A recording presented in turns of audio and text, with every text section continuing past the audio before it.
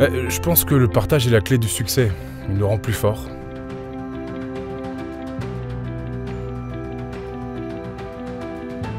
Ce que je veux dire au lecteur avec ma recette, c'est qu'il peut faire évoluer l'idée de base et ajouter ses propres saveurs pour préparer lui-même sa sauce.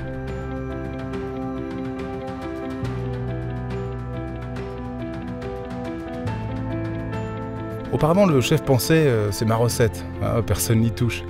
Aujourd'hui, chacun partage ses recettes autant que possible et il n'y a plus vraiment de, secret. Il y a tant de personnes qui voient leur travail comme une contrainte. Nous avons la chance de pouvoir faire ce qui nous passionne. La cuisine permet de donner libre cours à la créativité. Ce qui est essentiel à mes yeux, euh, le défi, mais le développement de ses compétences. Je pense que si on perd une de ces deux qualités essentielles, euh, c'est que l'on prend la mauvaise voie. Et dans la cuisine, ces deux qualités ne connaissent aucune limite. Chacun place la barre à la hauteur qu'il souhaite.